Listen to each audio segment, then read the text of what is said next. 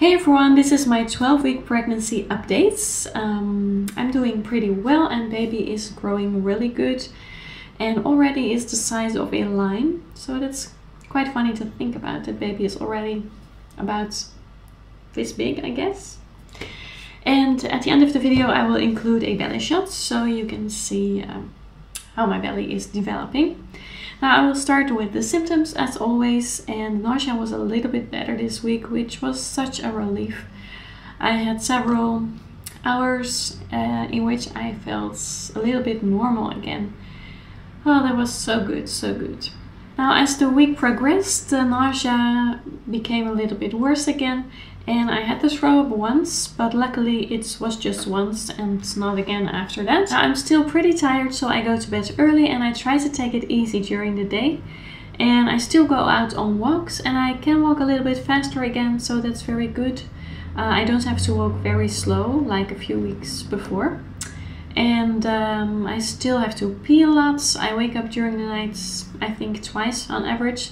So that is annoying, but also part of pregnancy. So far I wasn't too emotional.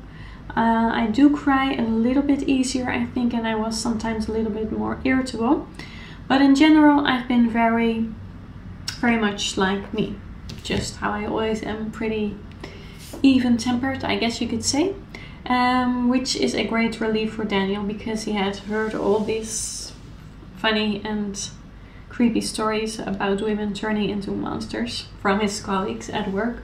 but this week I had a major meltdown. My husband went out for groceries and he didn't buy everything that was on the list and I started bawling and bawling and I just could not stop crying. So that was quite funny and uh, I think he was a little he didn't know what was happening and why I was reacting the way I did. I explained to him that I was just upset and that the hormones made everything worse and he was sweet enough to get the groceries that he didn't pick up the first time. So that was really nice. And I think that was the only time this week that I was really emotional. Now a new symptom this week is sore hips and legs, especially in the morning when I wake up. And it feels like I've been laying on one side for far too long and I've always been a side sleeper and um, it has never bothered me. So I'm not sure why why this is happening. I'm sure it's just pregnancy hormones but that is a new symptom I don't have it every morning but very frequently. Now this week I went to the midwife again and this time my mother-in-law and sister-in-law joined me because Daniel had to go to work and the midwife had the results of my blood work and everything was perfectly fine also my iron was fine, which I thought was a little surprising because I'm pretty dizzy all the time. So I thought maybe that was due to low iron, but my iron levels were really good. Now the midwife made another scan because on the last scan she couldn't tell exactly how far along I was because of the position of the baby.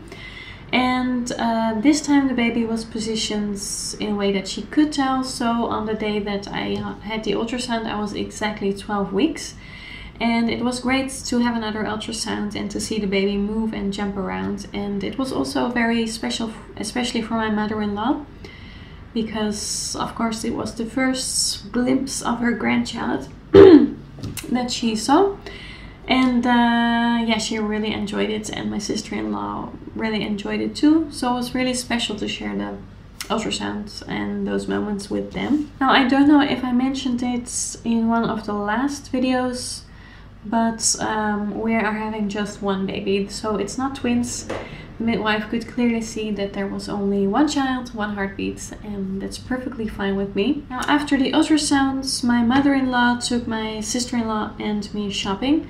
So we went to the city center and she bought all kinds of clothes for the kids of my sister-in-law. She has two little girls. And my mother-in-law just really loves to do that, shop for clothes for her children and grandchildren. So we enjoyed that. And she bought all kinds of maternity clothes for me.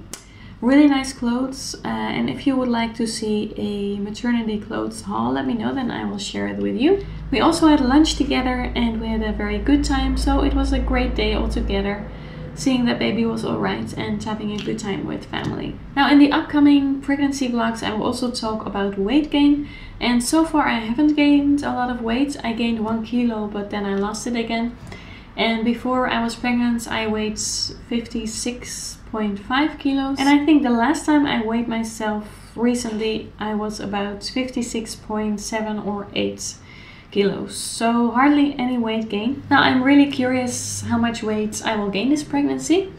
And uh, I should gain a little bit more than the average pregnant person because uh, when you compare my weight to my height, I don't weigh enough. So I'm really curious. Uh, we'll see what happens. I'm not worried about it and I will keep you updated. Now another symptom that I didn't mention before is that my nose seems to be always bleeding. And uh, I thought that would just pass, but every week it's the same. And apart from that, I feel I start to feel around ligament pain a little bit. It's not too bad, it's just a little uncomfortable. And my skin is still quite dry. And something else I think that's new this week was that my heart sometimes acts up. So sometimes it will start pounding very, very quickly.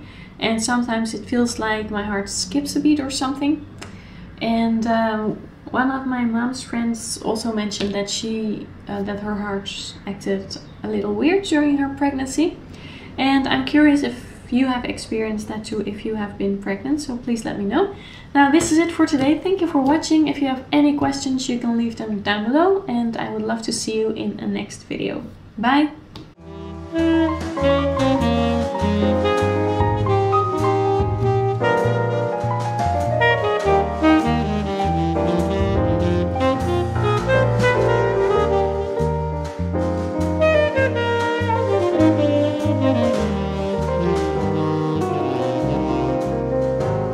Mm-hmm.